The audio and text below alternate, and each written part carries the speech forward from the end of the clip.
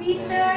iya lebih terarah. Itu Iya, saya tiga tahun satu bulan di Albimin dan juga saya empat tahun di Yapiki empat tahun tiga bulan saya di Yapiki tiga tahun kan?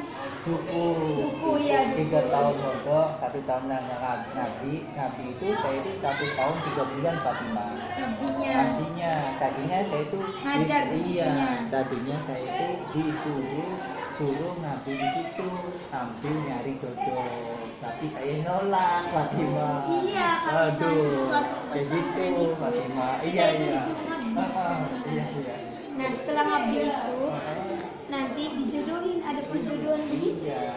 Makanya dari itu saya tuh pikir lagi lah daripada jodohin khawatir kurang pas kurang serem saya mau nyari sendiri aja Oh terus dapat. Alhamdulillah Fatimah Gusti Allah itu Insya Allah kembali paringi jodoh Ada ayat Al-Qurannya. ada Coba bacakan. metode dengan metode apa Kau nih. oh aduh lihat di metode kau nih ya Iya. nah, dalam surat An-Naba ayat 8 yang berbunyi wa qala akum